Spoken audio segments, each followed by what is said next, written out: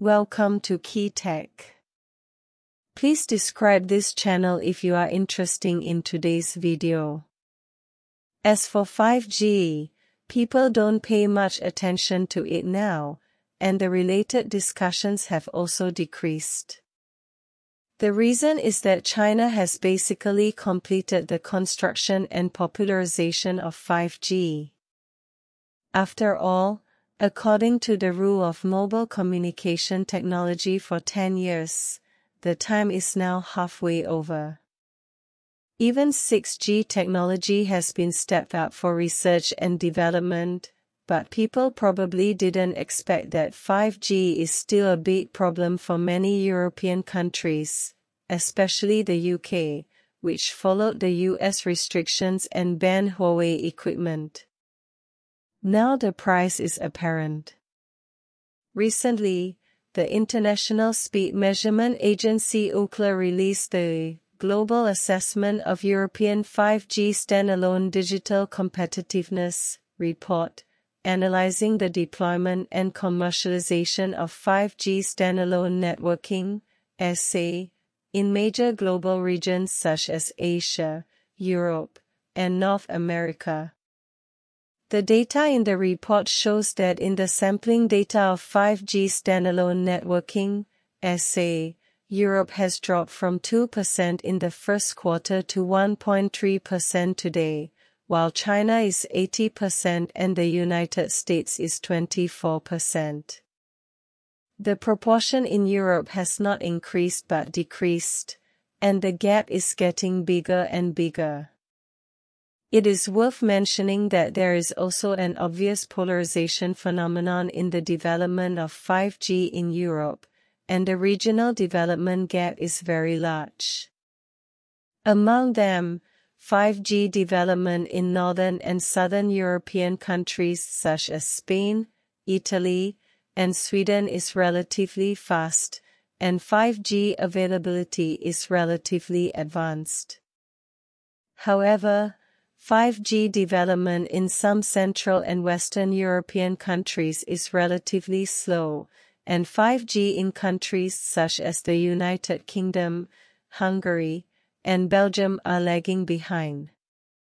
The reason why Spain and Italy are able to lead in 5G is that they did not completely exclude Huawei before, so 5G construction has not fallen behind. Especially in Spain, Telefonica also worked closely with Huawei to lead in SA network. Although Sweden also excluded Huawei 5G, fortunately there is still Ericsson, a communications giant, and 5G construction has not fallen behind. The slow development of 5G in many other European countries is mostly due to following the restrictions of the United States, which has led to the current self-inflicted consequences in 5G construction. In May 2019, the United States began to sanction and suppress Huawei, which is leading in 5G, on the grounds of maintaining national security. The United States added Huawei and its subsidiaries to the so-called entity list and also pressured allied countries to exclude Huawei 5G. The United States even sent many senior representatives to lobby and pressure other countries and regions for this.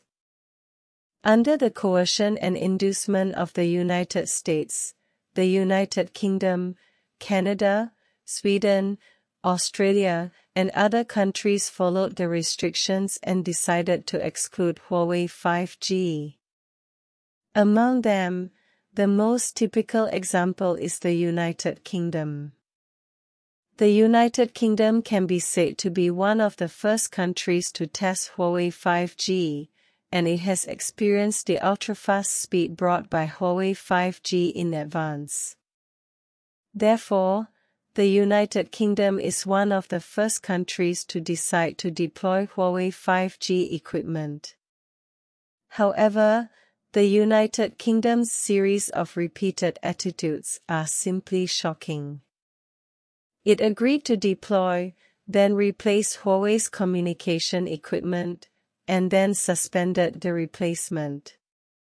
Later, the former British Business Secretary spoke publicly and explained the background reasons. Cable said that the British government banned and replaced Huawei's 5G equipment not because of national security, but under pressure from the United States.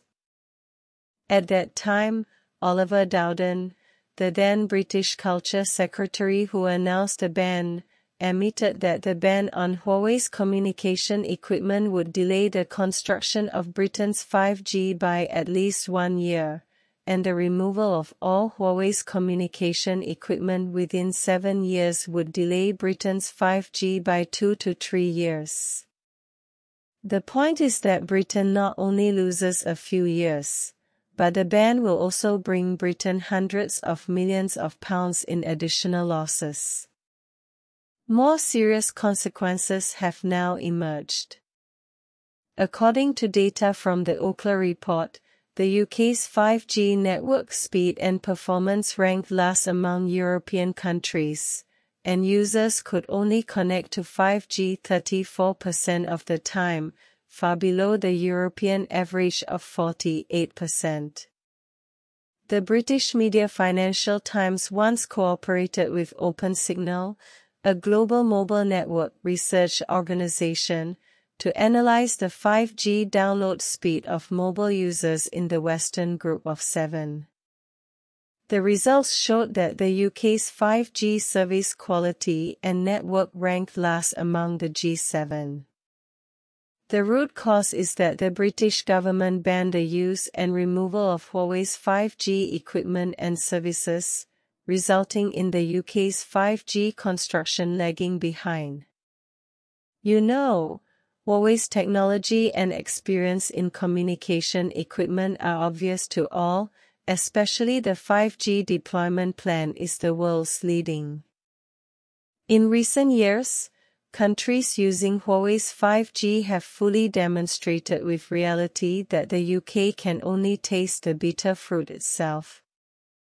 In this regard, some foreign media directly commented that the cost of the UK following the US restrictions has emerged. The UK is one of the first countries to start commercial implementation of 5G. It could have led other countries to enjoy the dividends brought by 5G, but now it has become the bottom. According to relevant information, the UK is now aware of the problem.